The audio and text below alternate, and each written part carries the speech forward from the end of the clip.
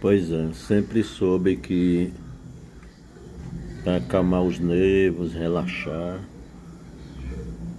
não tinha coisa melhor do que o, o maracujá. Inclusive até tem um, um remédio aí que é vendido nas farmácias chamado maracujina. Antigo, da época do ronca. Maracujina, muito bom para saúde. Calmar os nervos nesses dias de intranquilidade, onde a gente vê as coisas acontecendo mais absurdas e fica aberta sem entender.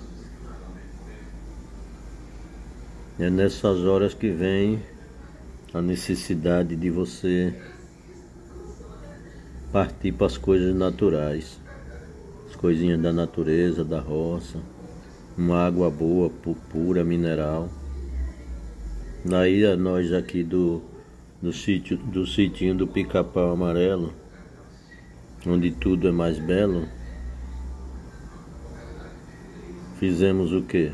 Ah, vamos plantar uns pezinhos de maracujá né?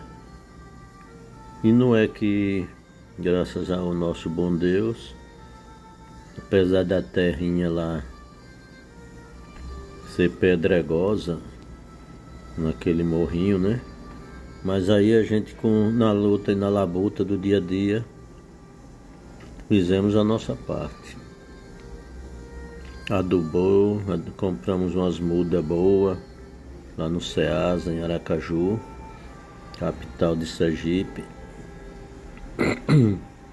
Fizemos a, o caminho, a latada, plantamos os maracujás. Entregamos na mão daquele, lá de cima, fizemos a nossa parte. E hoje eu vou aqui mostrar para vocês os primeiros frutos. Estão carregadinhos os pés, alguns morreram, mas a maioria a maioria tá bem carregadinha. Outra hora eu vou mostrar para vocês. A latada, penduradinha, coisa mais linda do mundo. Os maracujás. Aí aqui, já descansando da labuta, trouxe alguns os primeiros frutos. Veja, veja que coisa linda e coisa maravilhosa. Aqui estão, é.